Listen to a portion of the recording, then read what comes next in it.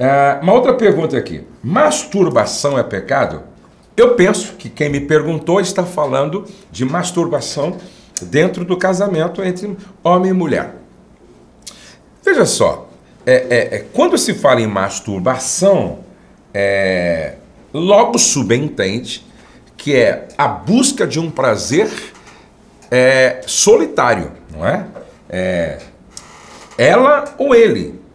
Porque se a manipulação dos órgãos genitais acontecerem no processo tá, do, do encontro e do diálogo sexual, não é masturbação.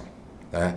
Subentende masturbação que é a busca do prazer de forma solitária. Quando Deus pensou em sexo, ou melhor, quando Deus nos fez seres sexuais, ou seja, quando Deus colocou em você, em mim, nós, não é? essa bênção chamada sexo, e quando ele, ele instituiu o casamento, é, ele estava pensando no prazer dos dois. Ou seja, sexo é para ser praticado entre duas pessoas que se amam, comprometidas, aliançadas, certo?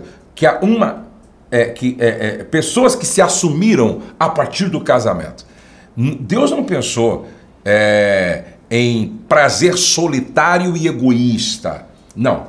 Deus pensou em duas pessoas se encontrando sexualmente para uma dar à outra prazer sexual. Por isso que a masturbação é, não é uma, uma saída, não é uma solução para atender uma necessidade da mulher ou do homem. É claro que, como de repente.